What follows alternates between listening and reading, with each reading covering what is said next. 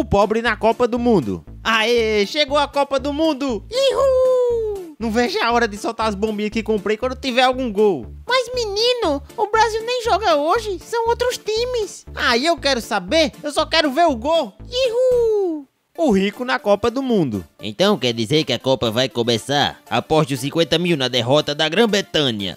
Aposte o 100 que o Messi fará 3 gols. E eu aposto um milhão que o Neymar cairá ao menos 10 vezes por minuto de jogo. Fechado, será uma Copa divertida. A Copa do Mundo é um evento mundial que está presente na vida de todo mundo. Até quem não gosta de futebol na Copa do Mundo vai assistir e torcer pelo seu país. Mas você sabia que tem diferenças entre o rico e o pobre na Copa do Mundo? Onde o rico assiste o jogo.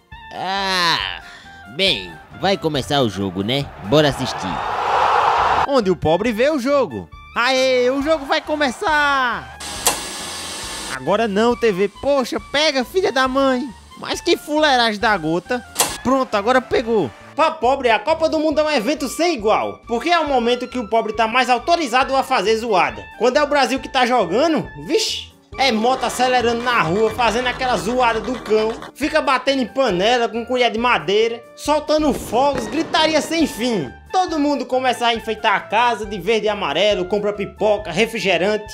É o evento da década. Aí liga a TV aonde? Na Globo. Com a narração do Galvão Bueno. A TV velha de tubo fica parando de dar sinal. Aí só se vê os gritos. Menino, corre ajeitar a antena da TV. E se tem uma coisa que é ruim é mexer em antena de televisão, homem. Porque a TV só pega com a antena nas piores posições possíveis. Nunca que a TV dá sinal com uma posição fácil da antena. Aí tem que dar seu jeito, né? Bota um prego na parede e amarra antena. Às vezes pendura até nos caibos da casa. O importante é dar sinal. Já o rico tem TV de 100 polegadas na sala. A TV é tão grande que o jogador fica maior que a pessoa na tela. A imagem da TV é mais realista que a vida real. Mas tu acha que ele vai assistir o jogo em casa, é? De jeito nenhum. Rico viaja direto pro Catar. Chegando lá, fica numa sala VIP. A visão dele do campo é mais privilegiada do que dos próprios jogadores. Lá ele vai poder comer caviar, tomar seu champanhe, tirar selfie com o campo de fundo, tudo muito chique. Quando o Brasil dá um gol, o pobre vai à loucura. Não tem dinheiro o ano todinho, mas para comprar fogos no dia da Copa ele tem.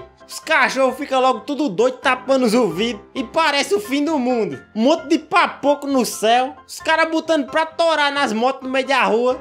Criançada gritando. Aí os moleques ficam tudo inspirado, né? Assim que acaba o jogo, já vão pro meio da rua jogar bola. Um diz que é o Neymar e começa a cair. O outro diz que é o Hulk e começa a fazer falta em todo mundo. Já o rico, quando o Brasil faz gol, ele ganha ou perde dinheiro. Porque o foco deles são os sites de aposta.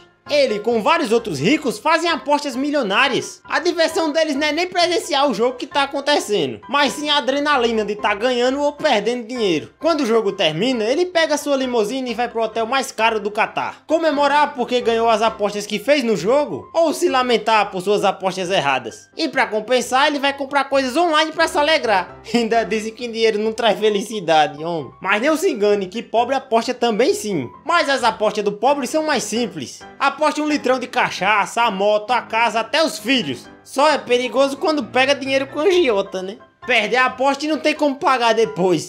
Vixe!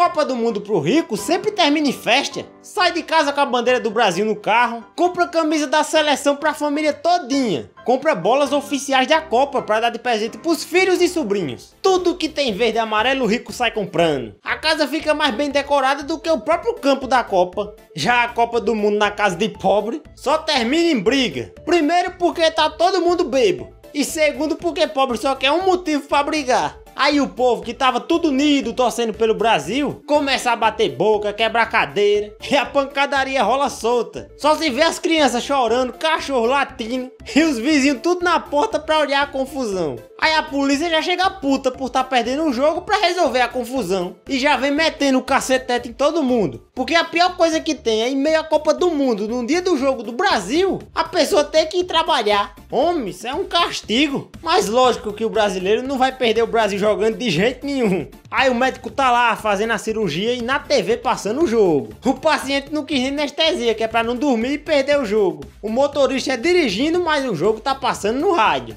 E é até engraçado, porque se o Brasil ganha, todo mundo comemora, diz que a seleção é o melhor time do mundo. Mas quando o Brasil perde, o povo taca pau, dizendo que os jogadores são tudo ruins, que o técnico é burro E o que não falta é meme, porque brasileiro é a maior fábrica de meme que existe na face da terra. E entrevista de jogador é a coisa mais genérica que tem. Quando perde o jogo é sempre as mesmas desculpas. Dizendo que fez o que pode, que a equipe se preparou, mas o resultado não veio. Mas a verdade é que jogador ganha tanto dinheiro que pra ele não importa se perdeu o jogo ou ganhou. Porque ele sabe que quando chegar em casa, tem um pique de milhões esperando por ele. Besta é nós que torce e não ganha nada. Fim.